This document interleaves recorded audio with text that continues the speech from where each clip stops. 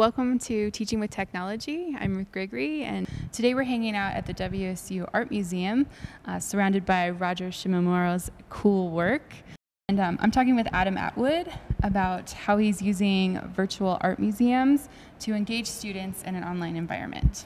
Virtual art museums were a great way to bridge that gap between the face-to-face and online environments. It works great in just face-to-face -face and only online as well. And what I did is I just made a simple PDF of instructions with screenshots of the virtual art museums through the Google Art project. Students then would go to the virtual art museum and they could click on the floor plans of various museums all over the world. They, they would then explore and look at art pieces that were of interest to them. But what ended up happening is that more than 30% of the students eh, were commenting on the assignment itself and were writing 500, 600, 700 word responses to other students or just in the forum itself about how much they enjoyed exploring art through the virtual art museums.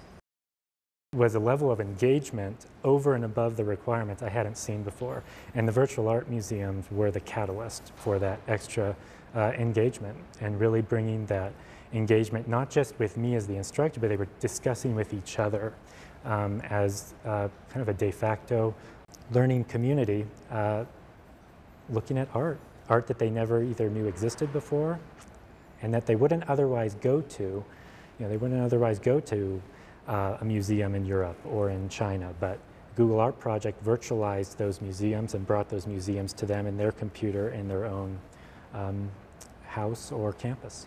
I think I'll close with a student comment, another student comment. Uh, a student said, I love this. I just spent the last 20 minutes showing these virtual museums to my husband. Thank you so much for sharing. Super cool. Well, thank you for bringing such an innovative use of technology to class and also to the vlog.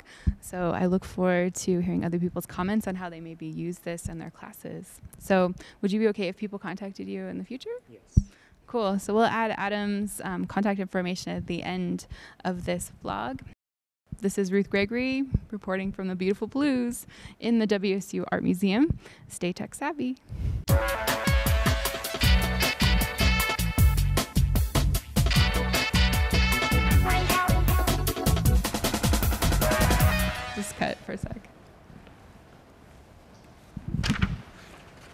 James.